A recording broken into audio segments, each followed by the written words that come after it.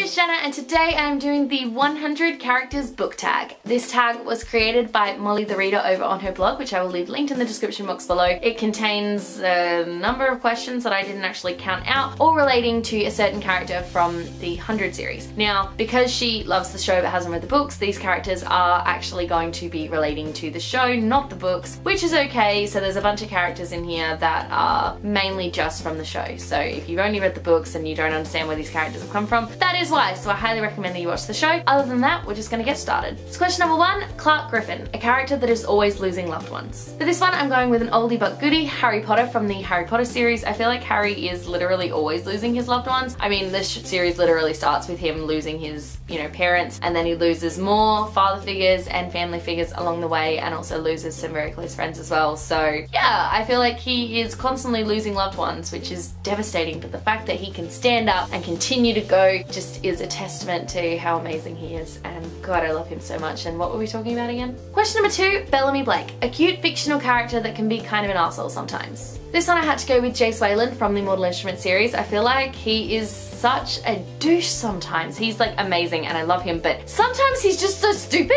and he just does really stupid things and says really stupid things and it's like, dude, just stop. And for that reason, I sometimes hate him while I'm reading these books because I just find him so frustrating, but he's really cute and I can't get past that. So definitely a Bellamy Blake. Question number three, Octavia Blake, a strong, independent lead character. Tommi Grayson from the Who's Afraid series by Maria Lewis. Tommi goes through a really traumatic experience in the beginning of this book and then she persists and she conquers that really traumatic experience and she's able to move past it and she's able to really come to terms with it and I just love her. I think she's such a strong protagonist in that way that people can really look up to her for getting through such a hard time and she's also just an incredible kick-ass independent character anyway so I completely love her. Question number four, John Murphy, an underrated side character who is full of sarcasm. I'm going with Trumpkin the Dwarf from the Prince Caspian book in the Chronicles of Narnia. I have to say though, a little bit of a disclaimer, I have not read these books in a really long time and I'm kind of think that the movie's twisting me a little bit because obviously Trumpkin in the film is ridiculously sarcastic, but I'm like 80% sure that he's really sarcastic in the books as well, so I felt really safe going with him as this question. Basically, Trumpkin is a little dwarf that the Pevensie children meet in the Prince Caspian book where he doesn't believe in Aslan, he doesn't believe in any of that stuff and they kind of have to change his mind. But he's so sarcastic about it and he's amazing and I love him so much. So I just, oh, I love Trumpkin, but I feel like more people don't really talk about him because people only really, when they talk about Chronicles of Narnia, they really only talk about Lion Witch in the Wardrobe. And I'm sorry, there are like six other books that are amazing. Prince Caspian is another one that's really big because it was made into the movie. So just like go and read the books and you'll fall in love with Trumpkin just the way I did. Question number five, Jasper Jordan, a hero that is always heartbroken. I have to go with Conor from A Monster Calls for this one. Conor spends this entire book just being completely heartbroken by what is happening to his mother, also what is happening in his family and his life, and I just, I couldn't help but cry the entire way through this book. It's so sad. He is so heartbroken, but he's also just so strong and just keeps pushing through, and I think that is just amazing and incredible, and I love him so ridiculously much. Question number six, Raven Reyes, a diverse character that deserves more love. Gram from Invictus by Ryan Graudin. Gram is a person of color and he is so amazing and I love him, but he's not talked about a whole heap in this book and I haven't heard a lot of people talking about him when they talk about this book at all. But I love him. I really enjoyed his character. I thought he was so much fun. He was just really cute and adorable and I just wanted to like hug him so much. So I absolutely love Gram and I wish that more people did too. Question number seven, Finn Collins, aka Spacewalker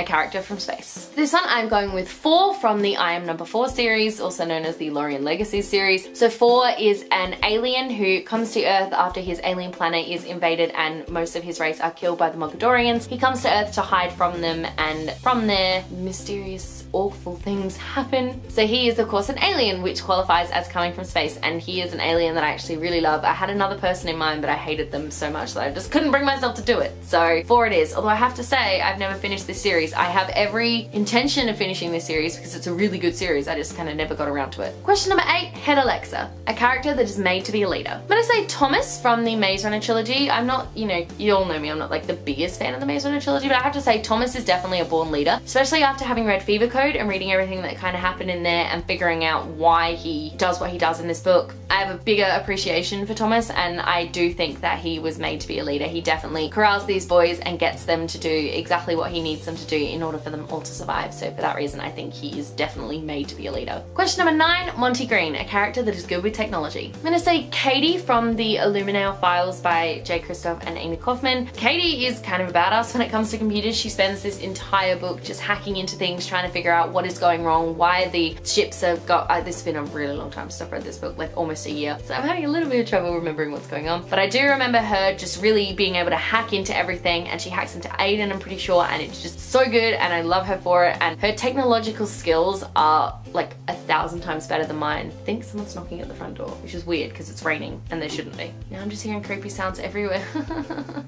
Read this book. Question number 10, Abigail Griffin, a character that is a healer. Now the only character I could think of for this one was actually Primrose from the Hunger Games trilogy, which is the character that Mollie chose, so I didn't want to go with the same character. So the only other healer I was able to find on my shelf at short notice was actually Clarke from the 100. So in the books, she is the camp's healer, kind of like she is in the show, but in the book she is like just the healer and she heals a lot of people and she saves a lot of them. So I went with Clarke for this one. Thank you for watching. Let me know in the comment section below your answers to any of these questions. I would absolutely love to know. I'm not going to tag anybody because Mollie did this tag like ages ago and I hate tagging people. And also I'm not really sure who has and hasn't seen the show because you kind of do sort of need to have seen the show to kind of get a feel for these characters. But if you've seen the show and you love it and you haven't done this tag yet, then consider yourself tagged. If you like this video, be sure to give it a huge thumbs up and don't forget to subscribe to my channel so you don't miss a thing. Stay random. Bye.